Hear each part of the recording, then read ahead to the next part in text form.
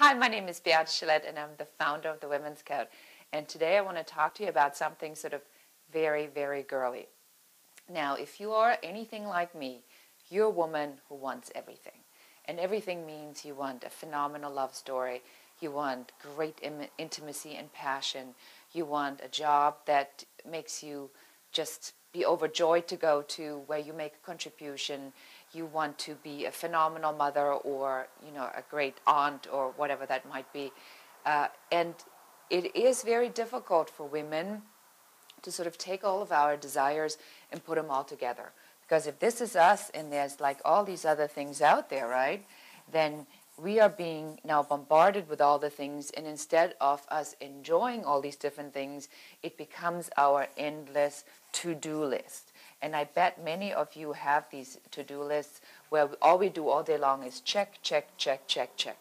So, what happens when we as women remain in this checklist uh, feeling, if you so want to, you know, because getting stuff done is very masculine, receiving is very feminine.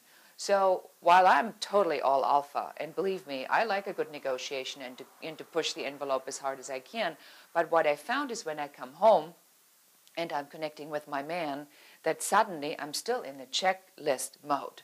You know, we're still needing to get stuff done. But that's not what a connection and relationship and being feminine is all about.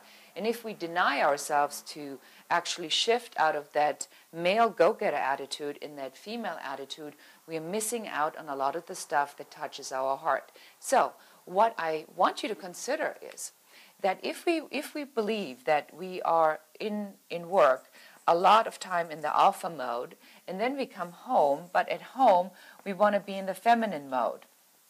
And Pat Allen says you have to make a decision on whether you want to be cherished or respected. I choose to be respected at work, but at home I want to be cherished. I definitely want to be the woman. So that means I have to tone down my alpha.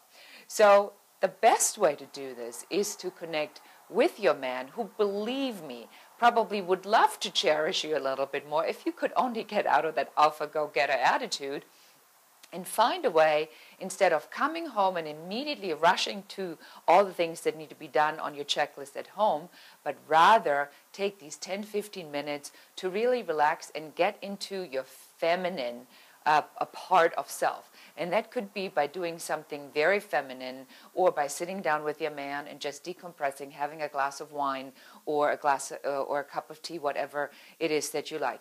But, you know, again, the message really is if you are a woman who wants everything, you need to know and you want to know how to shift from your alpha into the feminine. It just makes for much richer experience. If you have any questions about the Women's Code or any questions on how to in uh, the world of how women can succeed and lead, please do let me know. I would love to answer your question. Until next time, goodbye.